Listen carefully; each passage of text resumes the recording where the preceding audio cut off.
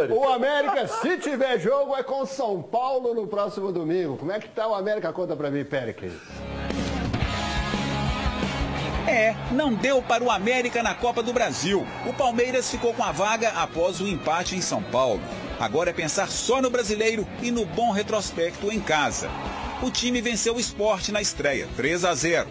Derrotou o Vitória por 2 a 1 na terceira rodada e despachou o Botafogo, 1 a 0.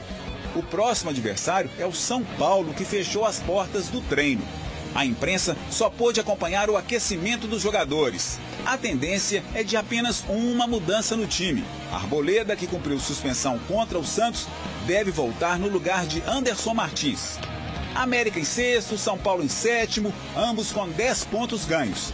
É o jogo que marca um coelho invicto em casa e um adversário ainda invicto no campeonato, mas em busca da primeira vitória como visitante.